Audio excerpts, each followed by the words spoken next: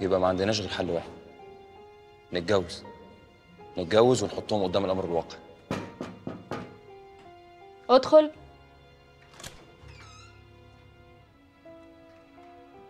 فاضي أتكلم معاكي شوية؟ آه يا حبيبي تعالى.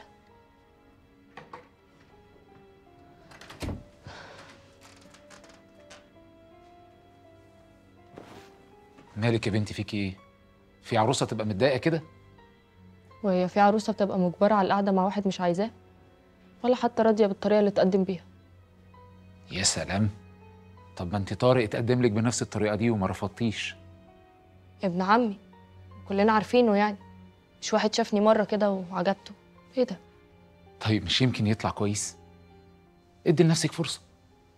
وما دام انت كده كده مش بتحبي طارق يبقى مش هيفرق حاجة عن عادل. ما بلاش تعلقي نفسك بحاجة مش هتحصل. انت عارفة كويس إن طارق ما ينفعكيش. قول لي انت كنت جاي يعني عشان تتكلم معايا في الموضوع ده؟ ولا في حاجة تانية؟ أنا كنت جاي أحكي معاكي لقيت فيك اللي مكفيكي. لا يا حبيبي ما تقولش كده. قول لي اعمل إيه مع سهى